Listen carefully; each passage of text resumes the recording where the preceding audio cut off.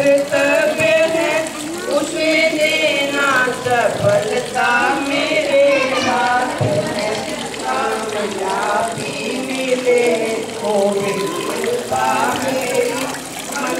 अभिमान आए मैं क्या करूँ?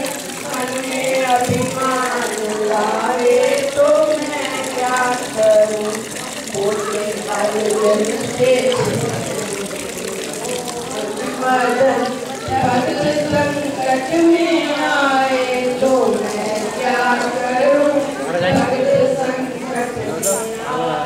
我们是北京路在